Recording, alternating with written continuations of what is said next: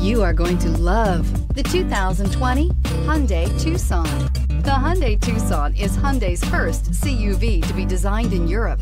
Tucson takes the boxy utility vehicle and transforms it. With flowing curves, graceful lines, and style to spare, it's the future of the crossover and is priced below $35,000. This vehicle has less than 100 miles. Here are some of this vehicle's great options. Power windows with safety reverse, roof rails, traction control, stability control, fog lights, braking assist, power brakes, autonomous braking, voice activated navigation system, leather trim seats. Come see the car for yourself.